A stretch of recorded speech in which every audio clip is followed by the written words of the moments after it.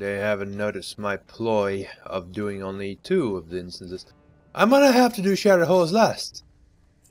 Because these guys have already done it before. Botanica! Awesome.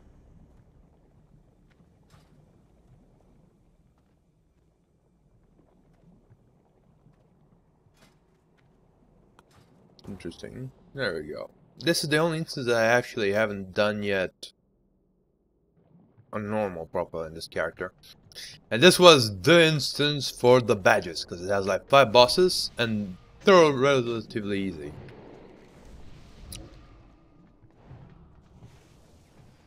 It's cool.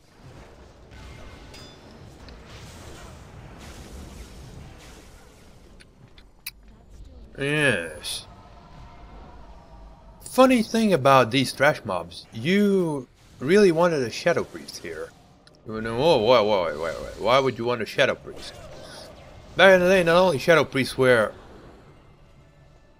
really good mana providers in TBC, you just had to have a Shadow Priest for raids, like at least one for 10 mans, otherwise you were just gimping yourself.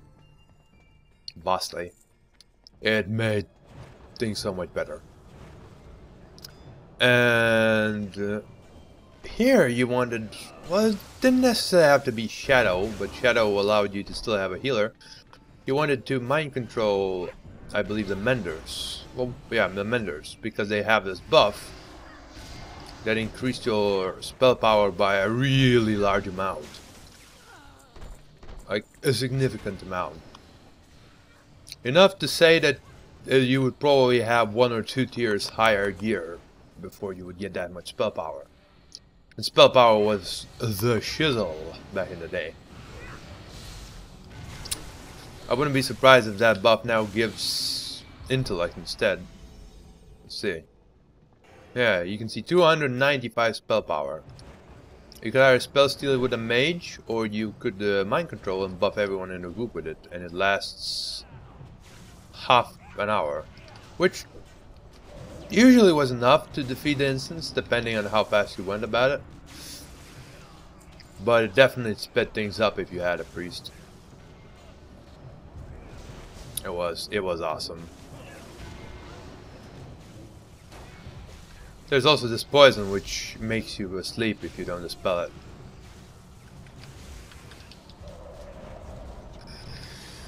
Very annoying poison. If you didn't have anyone to remove the said poison, well, you could potentially wipe here. Once again in TBC, you didn't really have a lot of these abilities that you have now, so it was a bigger deal. Now everyone can practically remove three kinds of stuff, so who cares?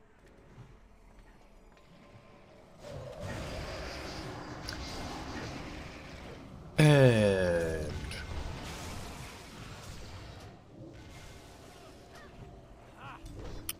Arcane damage taken. If it was done as well, I would keep it. Even though he doesn't really do arcane damage, does he? yeah, so that would be pointless. At least my buffs are back in place, but not all of them. The druid buff is gone. What the hell? I hate when they've introduced that nonsense where buffs just disappear.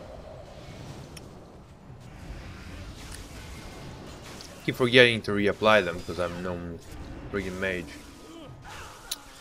This place is so easy to chain pull. The packs are just perfectly placed for a paladin with the Avenger's shield. I remember pulling all this stuff like a boss. Really everybody who tanked pulled this stuff like a boss. These guys stun the tank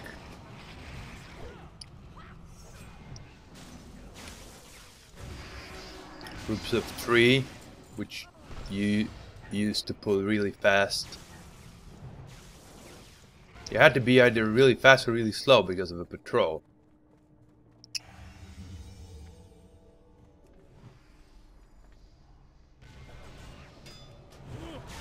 This is not pulling everything. That's a good thing, right? they had some... Oh, god damn it, I left blue the friggin' mage again. What's wrong with me? Wait, wait, wait, wait, wait, wait.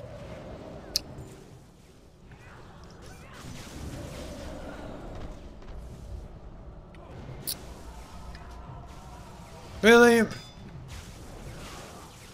Uh, uh, uh, uh, these packs had some awesome abilities if you let them live for long enough that made them pretty difficult to kill, like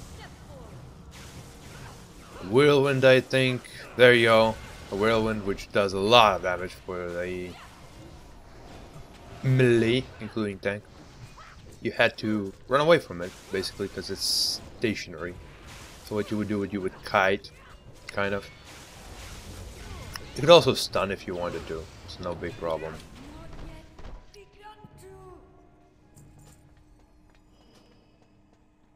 Next up should be the massive trash pack of flowers, but it's not here, so it probably was removed.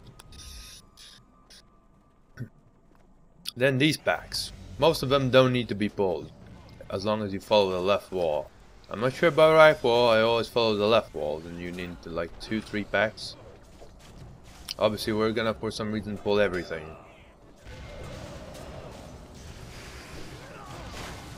Specs weren't much of a challenge, but what they used to do is they would uh, drop poison gas on the floor. And poison gas on the floor would obviously cause a lot of damage for everyone standing in it. And it was quite big. And there were quite a few casters, so you couldn't really get away from it that easily. Per se. It wasn't trivial. It wasn't like, oh, I'll just step a bit to the side. You had to actually effectively move out. Not to say that it was hard or anything, no. Well, like this. You see? Does quite a bit of damage. 900, practically 900 deeps. And in terms of CVC, that's quite a bit.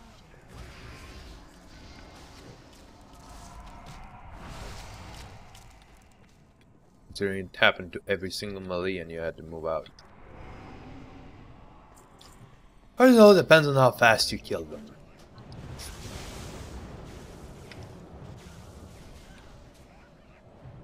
Right.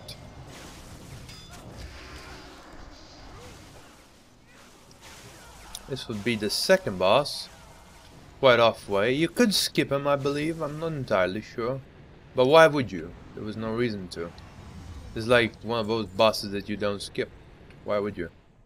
All you have to do is just run in and bam. He does have some funny mechanics spawns seedlings and shit, and he himself turns into a tree and tries to heal them, I believe. Fortunately, he died too fast for to demonstrate his awesome abilities. It's a, it's a shame. It's a shame. Overpowered friggin' Oh, banging TBC, with Paladin tanks, used to use spell power weapons you had to use basically a mage weapon if you wanted to tank because you just didn't do enough threat without additional spell power otherwise.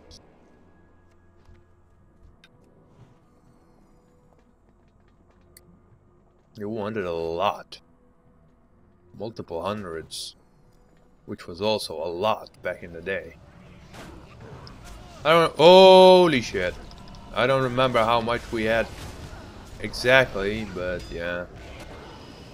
I remember going to Magic getting that Kael'thas weapon. Basically an epic from Heroic Magister's Terrace and it was like an upgrade or something. On my not really raiding paladin. Most of them on my paladin was Zul'Aman and stuff. And here we are at these packs of uh, many a Nethervine douchebag. Even this paladin doesn't want to pull them all. Usually you would pull them one pack by one, followed by those dudes that are channeling. Because they all did quite a bit of damage. I don't know why you do it now, though, because, like... I mean, they can still stun you, I think, which is a bit annoying. Oh, they, they can also curse you to reduce your stamina, which is quite significant. About a third of your stamina being gone, that's a lot of health. Bam, gone, like that. Look at that mage. Did he just take like half of the friggin' health of an elite with one shot? Friggin' overpowered. What is that guy wearing? It's, it's fluff, it wasn't it? Fucking hell, look at this. This is Sunwell shit. Black magic and stuff. Insane. This boss teleports and does teleports back to his place and does consecration or hellfire. Unfortunately, it was completely irrelevant for us. Because we're vastly overpowered. You had to run away fast from that back in TBC because it did quite a bit of damage. As you can see, he also did I wouldn't call it a significant amount of damage, but enough to matter, so to say, so I would have to actually heal it. I am not keeping my life properly today at all. Yeah, as you can see, there were a few stealth mobs in this corridor. Something that, if you see a, an empty corridor, it's probably full of mobs that are stealthy. Oh, time to spam heal the tank. These guys spawn death and decay. You could also mind control them and that would just destroy these elites and everything. Look at that, that rogue he would just took a few ticks, bam bam, third of his health gone. Then the K was the killer. You had to do something about it. You had to crowd control it or preferably mind control it and use it on the elites. See this effect of bubbling? Ah, let's stand in it. 2k damage. Two, two and a half k damage. Look, he stood in it a little. Look, look at the damage that they have taken from it. It's insane. In in TBC times, this this this would have been a wipe. Just from that damage. Nothing you would have been able to do.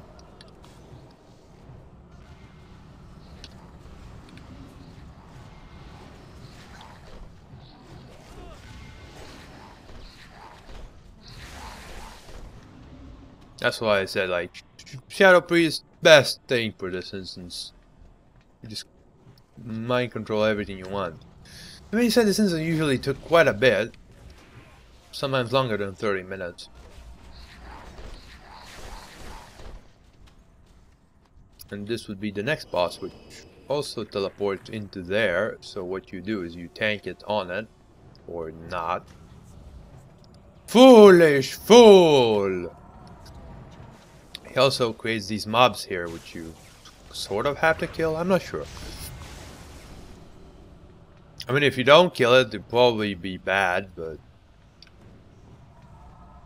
In TBC, because they do damage and stuff. Ah! Suddenly I'm dropping random crap all over the place. Hey! Right.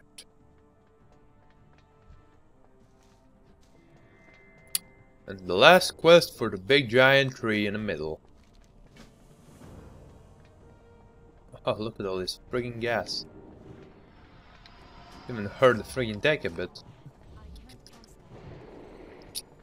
Right, and this is the last boss, Warp Splinter. Followed by many a pack of many a flower Fortunately, they're all non-elite, so they really don't pose a challenge whatsoever. He will summon dudes during the fight, near the end, which you may kill or may not kill as you desire. Usually nobody killed them, you just nuke them. I think he did quite a bit of AoE damage as well. And obviously quite a bit of melee. Yeah, and he's stunned. That's that's that's his problem. Stunned and did a lot of AoE damage. Made it a bit really interesting. Obviously now it doesn't matter, look. Fucking casting exorcism. This doesn't even care. Screw you, Splinter, I'm just exorcising you. Yeah. What is this? Uh, rubbish. As you can see, these instances dropped epics. They always drop epics, but only from the last boss. Only from the last boss. Alright, let's sign up for the last instance then. Oh, was gonna say maybe share holes, but not yet. They're resetting soon though. In a moment. In 15 minutes.